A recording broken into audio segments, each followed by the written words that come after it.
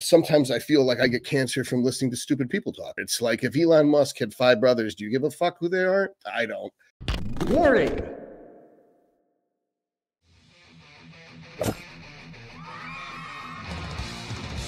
You're watching Dr. Todd Lee TV, where theoretically you could learn a bunch of cool shit.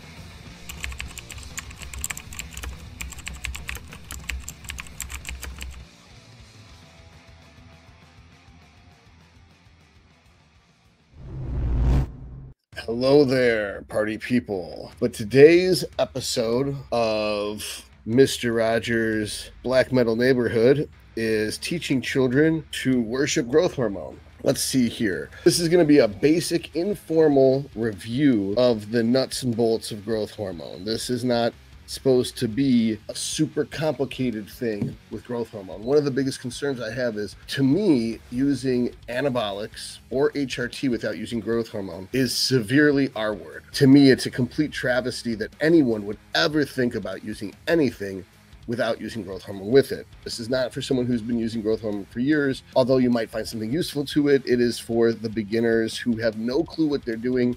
And if this is new information to you, you're a beginner. What is growth hormone? Growth hormone is a peptide hormone that's released by your pituitary. It comes in six different versions. It's basically there to liberate energy sources because it helps liberate fat from fat cells and it stops using carbohydrates as a fuel source primarily. And the goal of it is to give you the energy for IGF 1's functions. Now, IGF 1 is a downstream effect of growth hormone. Growth hormone will go to the liver and IGF 1 is produced. This is usually, it needs estrogen to do this. And you will find that in the muscle, the same situation will occur. Growth hormone goes to the muscle, and IGF 1 is locally expressed in the muscle. Some people will call it MGF. Really, the exons and introns are the same for IGF 1 and MGF. It's just the expression of the exons is different for MGF than it is for IGF. So, what is GH? So, GH, when people say GH, what they mean is synthetic GH, GH that's used for the purpose. Well, I'll get to that when I get to the why, but for the what? What we're using the 22 kilodalton version of growth hormone that is 191 amino acids. This is the best one for growing muscle. There's a 192 version. It's not as good. I don't remember why it's not as good. You don't need to know why it's not as good because they ain't making it. And as far as the 20 kilodalton, the 6 kilodalton, the 16 kilodalton, and the two other kilodaltons, it doesn't really matter. So we only need one, and that's the 191 22 kilodalton amino acid sequence growth hormone. If you were to shoot a whole bottle, 10 units of GH, and then three hours later get your blood tested, and the blood test shows that you've got 30 GH level in your blood, that GH is pretty fucking good. Like maybe the shittiest GH out there is 26, and the best GH out there is 36. Let's say Serostim's 36. So 30 versus 36. So if you used five units and got 15, but you use zero Serostim's five units and got 18, why not just use six units of what your generic is to get 18? Do not spend 10 grand a month on fucking growth hormone because you're getting it from an HRT clinic or some doctor who's a schmuck. Just get the cheapest shit and it'll work if it's real GH. And the way you test that is you shoot the whole bottle, you go over to the,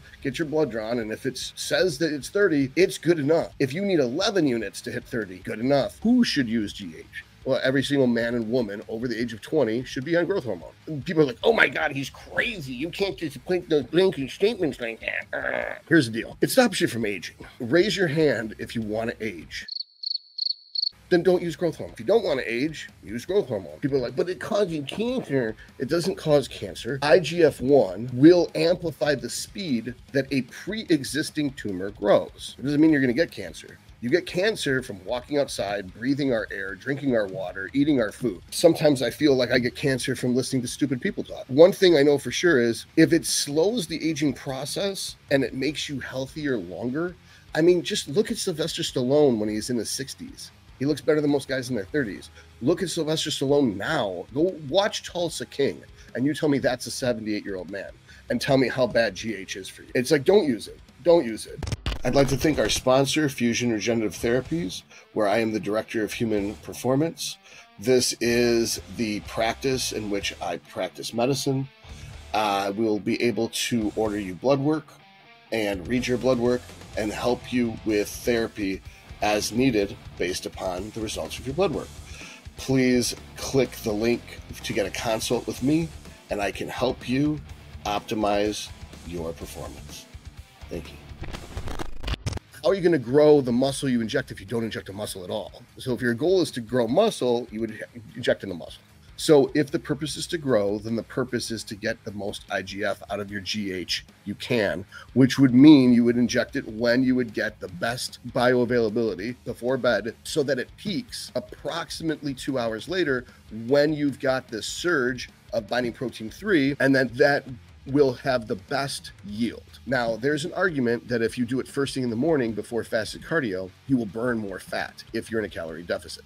This may be true. However, if it's got a four hour half life, shooting and the maximum benefit you can get is from 1.5 units, then if you were to shoot it at, at, midnight and you shot six units at midnight, it would be the equivalent of three units at 4 a.m. It would be the equivalent of 1.5 units at 8 a.m. So if you were going to shoot 1.5 at 8 a.m., or shoot eight before bed or six before bed, it's the same 1.5 at 8 a.m. either way. The HRT level for GH for men is two units. The HRT unit um, amount for women is one unit. So that means if you're just HRT, you're only going to be using like 20 milligrams or 30 milligrams of test and two units of GH before bed anyway. So that's why you could use the same insulin syringe and inject the muscle you want to bring up the most. If you're a woman, you'd be using 0.5 milligrams of testosterone and one unit of GH before bed. And you pick the muscle you want to grow the most. Simple. The only real side effect of GH at normal doses is water retention. And the list is super long, like